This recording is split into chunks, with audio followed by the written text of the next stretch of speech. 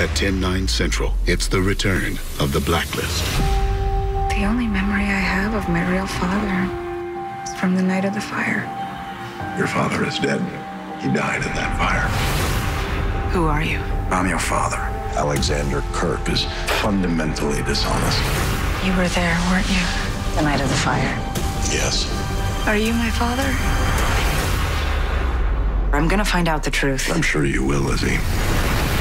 The Blacklist, Thursdays this fall after Chicago Med, starting September 22nd at 9, 8 central on NBC.